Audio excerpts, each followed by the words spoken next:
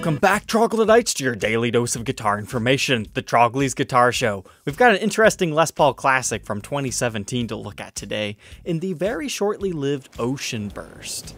More specifically, Green Ocean Burst. So let's go ahead and dive into this right away. The first thing that really sticks out to me is the top on this one. It's got such an intricate vining pattern to it. It almost looks like somebody painted it that way intentionally. But if you know anything about these 2017 Les Paul Classics, that's kind of how the wood grain pattern is in these maple tops. So here's an example of a different one that Dave's Guitar Shop had at one point in time. You can see it's got kind of a similar thing going on, but not quite as extreme as this one. This I don't know if I love it or hate it. It's kind of one of those tops. But had I had seen this brand new, I probably would have picked this one for a review and demo.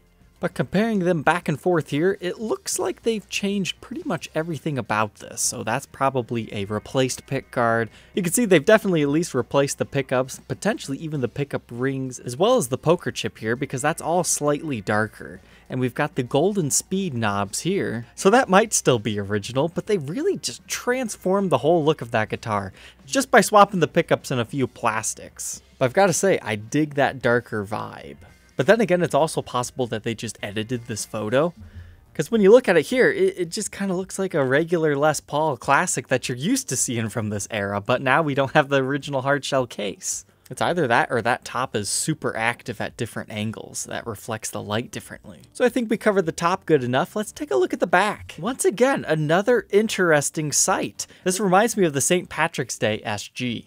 It kind of turned into a Leprechaun SG and had a bunch of sparkles within the finish, but that is a guitar that I teased in Wyron and then I had purchased it and did a full review and demo as kind of a special thing. But what they did for that one is they actually painted the wood grain on. This one, it still appears to be the mahogany body, but something is definitely interesting about that. You can see we still have the original back plates here because they have the built-in shielding.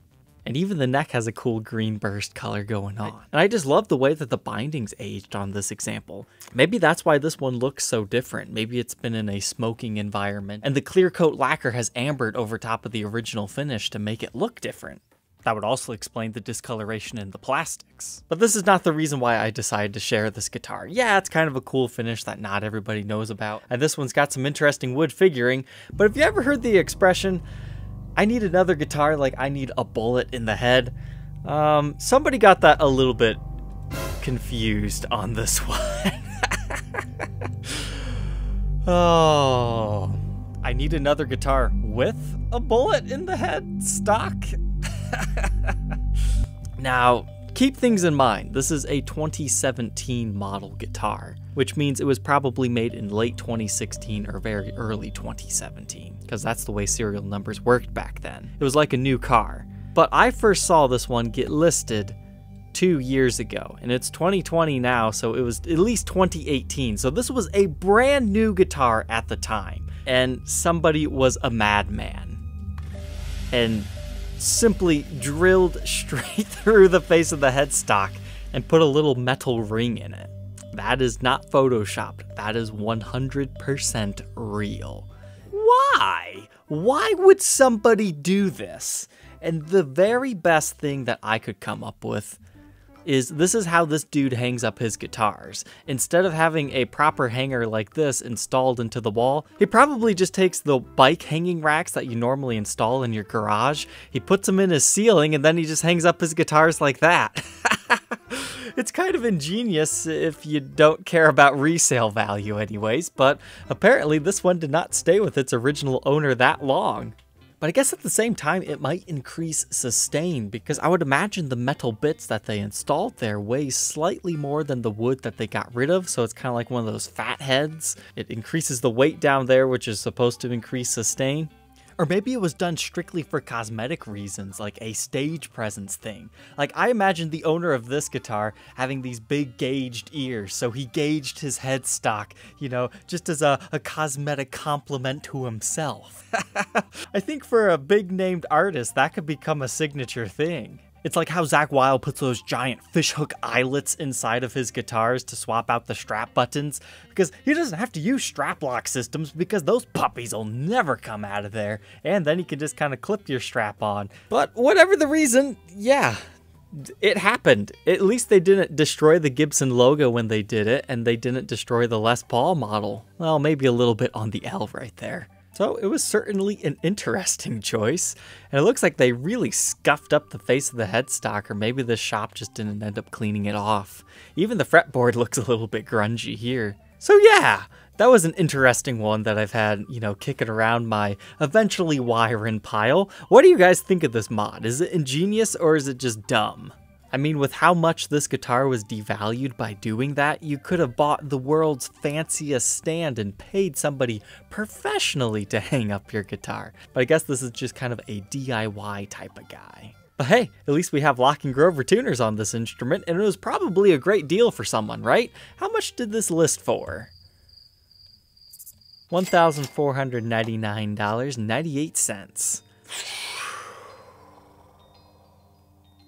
Um, I guess let's find out if that was a deal or not, because remember, prices were just recently revised. Oh wow, they were proud. Fortunately, since this one was brand new, we don't know how long ago this was, but apparently they were around 1800 bucks brand new at most dealers. Yeah, that seems to hold true because we have, this, I think this is Z-Zounds? Zounds? Yeah. Apparently it's pronounced Zounds. I don't understand that. Why have another Z in front of you? But honestly, these 2017 classics were actually specced really well. Locking tuners, nylon nut, that's kind of interesting. Regular 9-hole weight relief with 57 classic humbuckers stock, hand-wired orange drop caps, Tune-o-matic ABR1 bridge. Is that the kind, does it actually go into the top directly? That's a little bit too hard to see. This is around that time when they started using that Fobiar one. Those were a pretty good deal back then. Because now a classic's $2,000 and they've changed a lot with those. You get push-pull pots and stuff. You can check out this review and demo if you're interested in checking one of those out.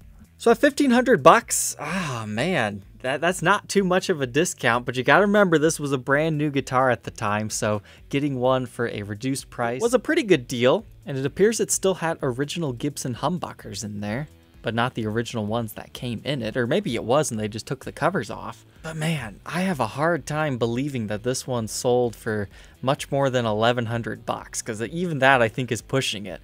Somebody would have had to have fallen in love with the wood grain on this one. Which honestly, that might be 100% possible because it definitely has something going for it. Because I would imagine that hole would scare away a lot of people. But I don't know, maybe I'm in the minority here. I'll be interested to hear your guys' thoughts and opinions. And man, I forgot about the aftermarket case. That was not a deal at all. You weren't getting any discount for somebody drilling a hole in that head.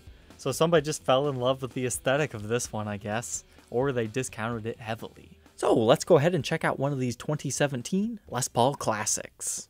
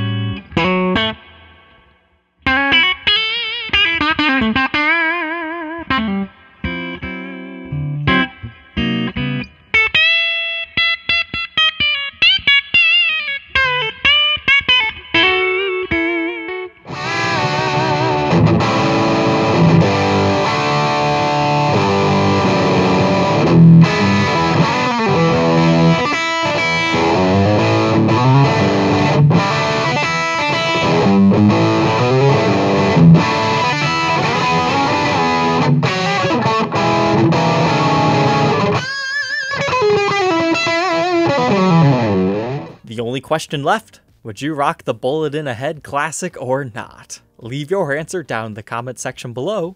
Don't forget to like, comment, and subscribe, and we will see you tomorrow on the next episode. Take care.